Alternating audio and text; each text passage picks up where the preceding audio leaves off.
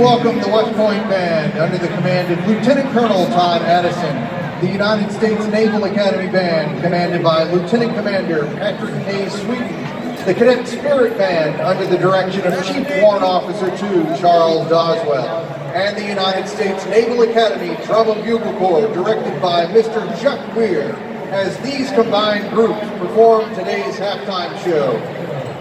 While the cadets and midshipmen of these two storied institutions battle every year on the field of friendly strife, they stand united in defense of our great nation today.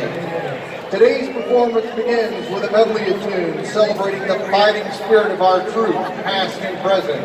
Highlights include a commemoration of the 100th anniversary of the World War I armistice with Over There, the patriotic favorite Grand Old Flag, and the modern classic, Army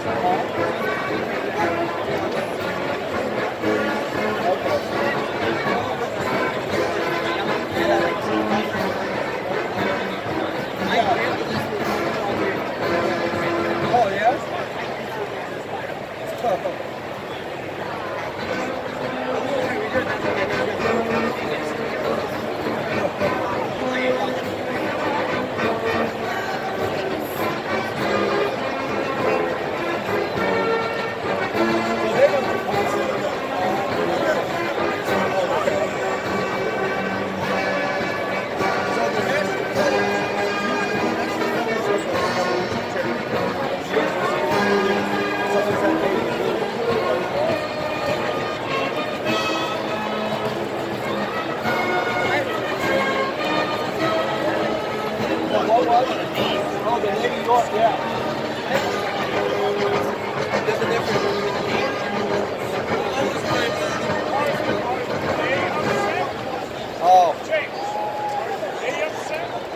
The 1986 movie Top Gun featured Tom Cruise and Val Kilmer as naval aviators training at the Fighter Weapons School at Naval Air Station Miramar in San Diego, hailed for its action sequences and aerial stunts. The movie was a box office sensation, even boosting Navy recruiting as a result of its popularity. In anticipation of the sequel, Top Gun Maverick, we now present Top Gun Anthem.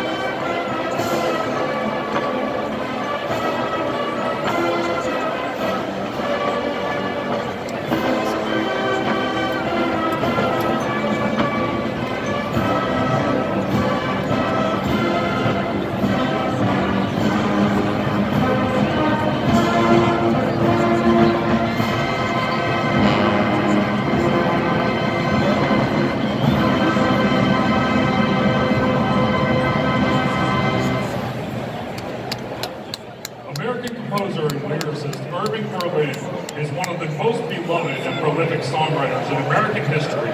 During his 60-year career, he wrote an estimated 1,500 songs, perhaps none so enduring as our final selection, God Bless America.